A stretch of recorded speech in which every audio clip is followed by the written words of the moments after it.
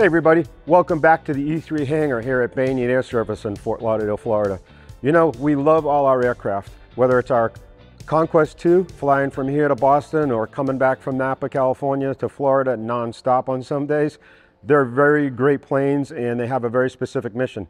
But when I get here and I want to just go have a blast, the plane I'm jumping in is our Carbon Cub FX3. So let's dive in and do a full complete walk around. Let's go. All right, let's go ahead and talk about the Carbon Cub FX3. So our Carbon Cub is a 2020 version.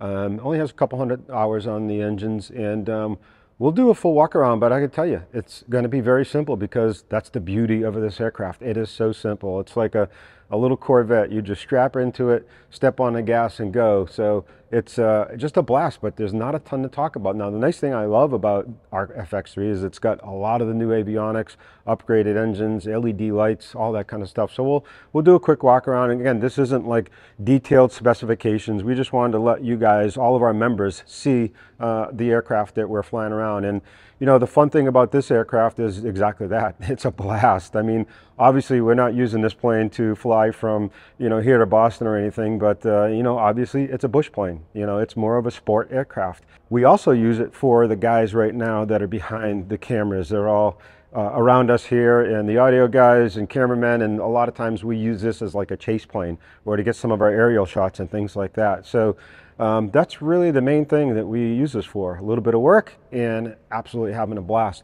So starting here on the wingtip, obviously this is a fabric covered uh, aircraft. So you got the aluminum structures and then you've got the uh, fabric on it. So here on the, we got our LED lights and it's a strobe and nav light all built into it.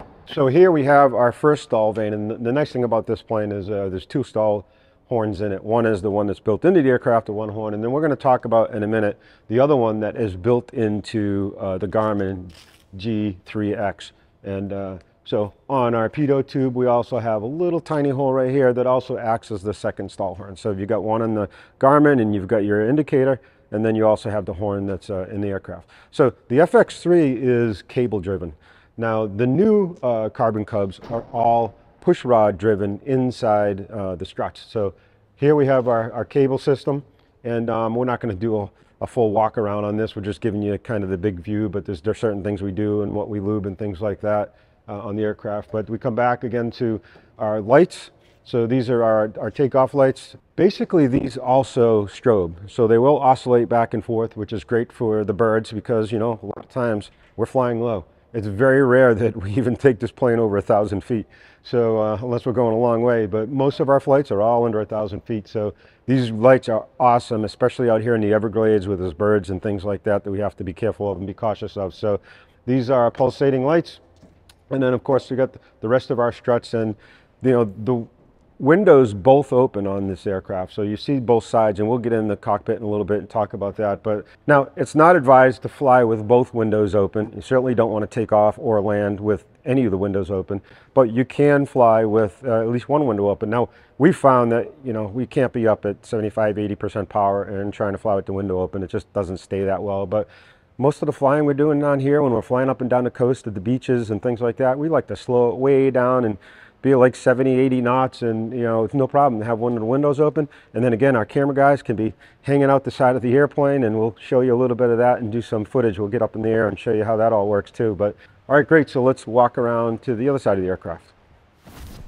Okay, so the Carbon Cub FX3, we're running the 185 horsepower uh, fuel injected engine and we do have the GAMI injectors, which is really cool. So uh, if you want to look into those more, check those out. Now, I'm not going to get into a ton of specs on the engine, but if you want, go to Carbon Cub and check out all the specs if you want to know everything about this particular engine. Now, we will cruise in this plane, high-speed cruise is, you know, about 115, 120.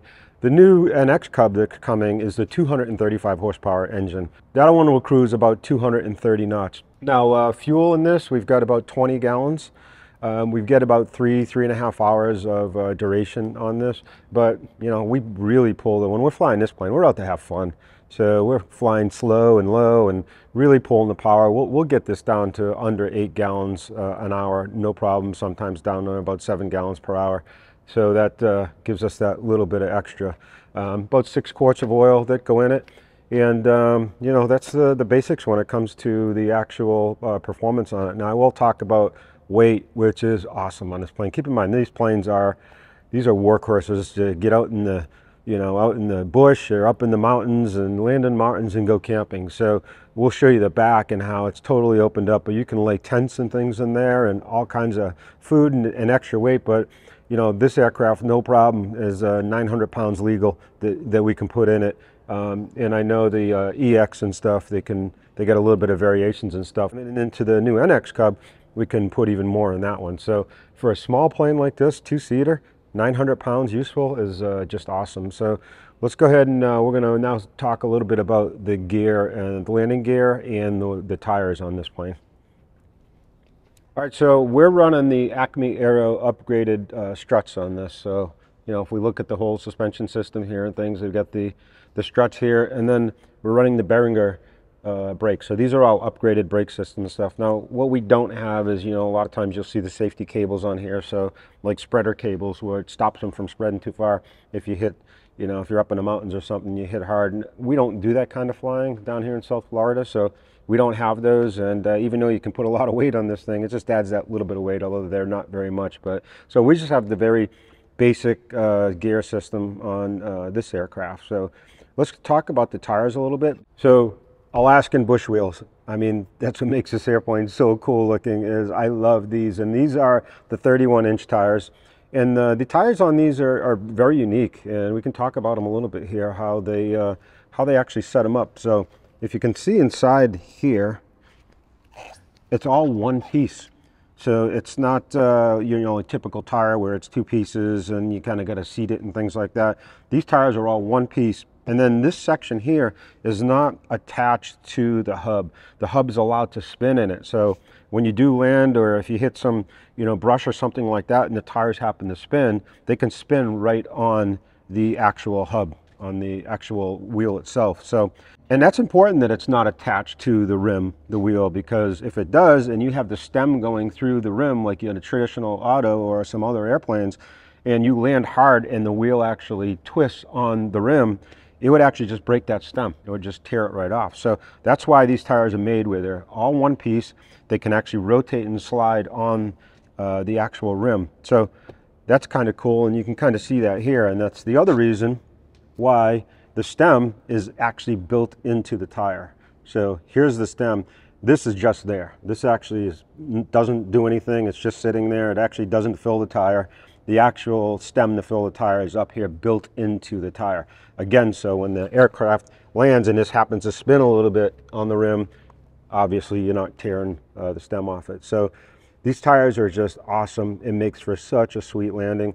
You can roll over pretty much anything. We can roll over rocks that are, you know, six inches tall and you barely can uh, even feel them and you see the tire just absorb all that. Now we're, we're only running eight to 10 pounds in these tires, which is uh, surprising. But um, so again, great wheels. Unfortunately, they're really expensive. These are about $2,500 a tire, more than our jets. So it's a, a little crazy, but to be able to get this kind of performance and to go to places where nobody else can go, you, you need tires like this. Now, we just ordered these new tires and the difference in these, even though they are 31s like these, this has the extra treads on them. And you can actually see that here. They talked about um, heavy tread is how they say it at Alaskan Bush Wheels. So the heavy tread gives it this, that little bit of extra rubber on here because, you know, we are here at the Fort Lauderdale Executive and uh, we do end up running, landing a lot on the concrete. So, you know, you don't want to. If you can avoid it, that's great. You don't want to do spins on these tires or something because they will tear them up. But getting a little extra tread on them helps, gives you a little bit more because you know, you fly this plane a lot on concrete at a typical airport, you know, you're only going to get about a year out of these tires. Um, so this is the first time we're trying the heavy treads and uh, we'll see how these work. So let's go ahead and uh, go around the rest of the airplane. Here's the right wing, obviously the same as the other side we talked about. I just wanted to show you a little bit about how we kind of mount our cameras. And this is the Garmin 360 camera. Um, the reason I like this camera, and we do have GoPros and stuff too, other than the quality, which is just awesome, the Garmin cameras are awesome. They're a little expensive, but they are really good, is we can control this right from the Garmin panel.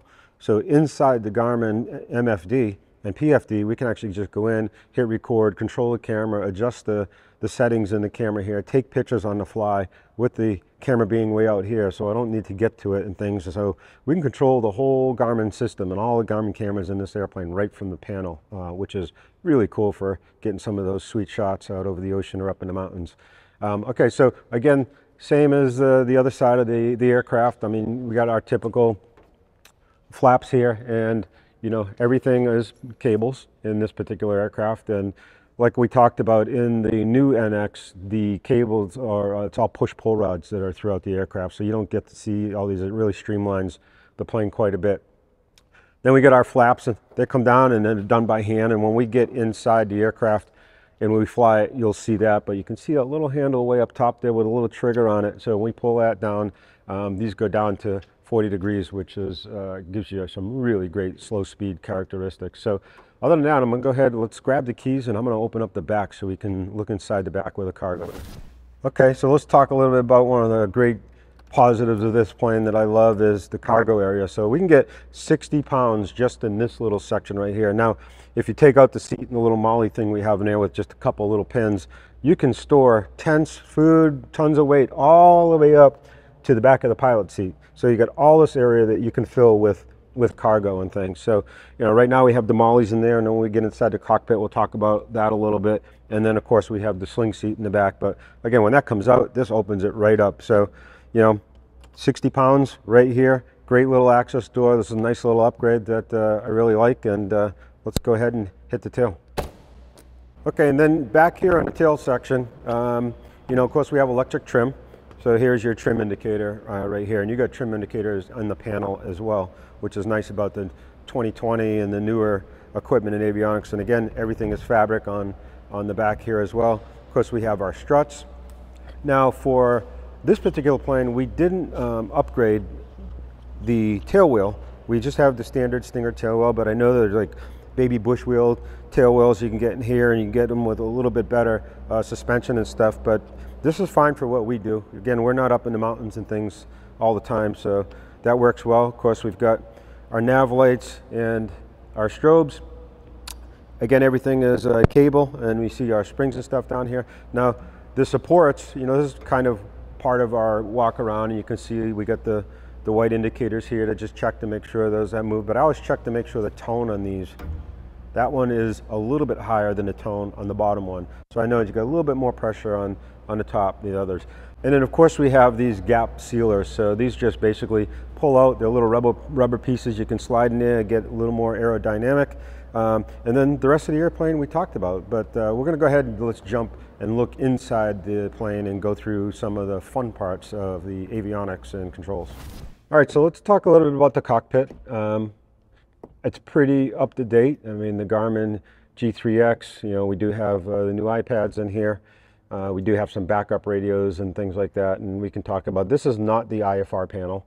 Um, so we looked to upgrade to the IFR panel. We just, for the kind of flying we do, we just didn't think it was worth it. Of course, we have the Garmin Autopilot, new versions and, things as well. So really cool panel.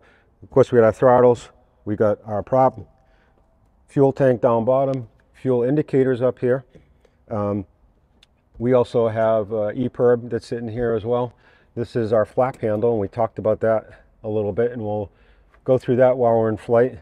Of course, we've got our Garmin camera up here, we've got our shades, and then up the top here that you can't see, but you'll see it in some of the flying videos, but these are little vents and things that you can control uh, from the see-through skylight here. So uh, the rest of it here is we've got our Bose headsets and also some other controls where you can flip the switch so that uh, who has priority on the trim here, whether it's front and back, that can be controlled here. So if somebody bumps it back here or they're hitting a button, it dis disconnects theirs and it's always uh, up on the front that we, we're using. So we got our iPad, the new iPad here, our fuel. I do want to talk about this switch, which is actually on right now. It's called the IBBS, Internal Battery Backup System. Um, I love this. This is such a great uh, idea that they did here. And basically it's a separate battery that's separate from the master battery. So the master's off right now but you get your, um, your MFD, your PFD actually coming up here. And it's nice because when you come in and do your pre-flight things, you flip that switch, everything boots up, everything's ready. So when you jump in the airplane after your pre-flight, it's ready to go. Just hit the master and start, and you start rolling. Uh, the other nice thing is if you land and you're just doing some fueling or just running into the restaurant or something for breakfast or whatever, you can just keep that on. All your flight plan stays in there. Everything stays booted up. You know, it lasts quite a long time just on that internal battery system. And then what happens is when you flip your master and your uh, avionics on, the battery from the engine, the main battery, then charges that uh, backup battery back up. And then uh, again, you shut down, do some fueling, keep it on, and then again, you start up and it charges that battery back up. So, and then when it's actually charged up, it also, it doesn't run from that battery when your master and avionics is on. It actually changes over and runs from your main battery. But the point is, is if you do have a problem with your main battery and you lose your power, you still have your backup battery that you can keep flying. So it's a awesome little system. I really, really like how they did that. I think it's a great idea. And then underneath the seat is the main battery. And then of course we have some backup radios and things like that. And then got our RAM mounts for phones and key ignition system on, on the side there. So again, really simple, really simple system. We've got our stick here with uh, trim. We got our autopilot disconnect and push to talk here. Um, and love the new handles that they created Of course, we've got the leather seat in the front here, and then we have the sling chair in the back, which, you know, I thought the sling chair wouldn't be that comfortable, but everybody loves it. And what we did is we put a foam pad uh, upgrade on here. That's like a memory foam that we put on the seat. And then we've got a, a stick and, of course, throttles and prop for uh, people who fly from the back seat. And then their feet actually come way up here, so there's dual pedals. And um, that's it. It's uh, just a little bit of a blast of a plane. So I'm going to get to the other side. We're going to talk about the safety equipment and what we have in the in the back here. All right, so just talk about some of the safety equipment we have uh, back here. Now, up front, we talked about already that we have an InReach EPIRB, so that's there. Back here, we have our life vest. So there's two life vests here that uh, just pull these two tabs. The life vest drop into your lap. Uh, of course, we have a Leatherman tourniquet here and some accessories that goes with the tourniquet is right here. Of course, we got a first aid kit, strobe, strobe with a digital transmitter in it. Uh, we have a snake bite kit that's here.